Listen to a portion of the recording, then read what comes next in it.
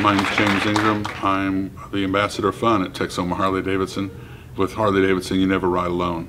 We, uh, we hope that uh, these supplies will aid the education of kids that are that may not have the opportunity that others do, and that um, we hope that this contribution will will aid in their continuing education.